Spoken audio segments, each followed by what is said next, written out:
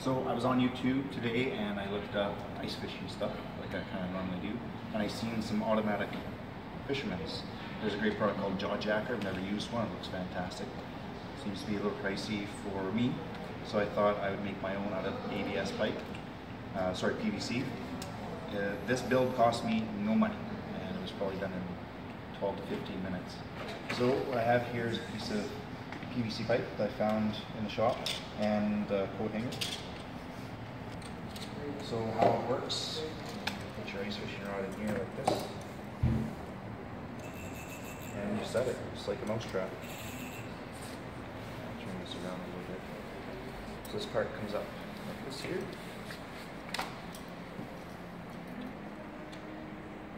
And your line comes over like this. And when a fish pulls it down, it sets it. And you come over and reel it up. So again, homemade automatic ice fishing, zero dollars and about 12 to 15 minutes.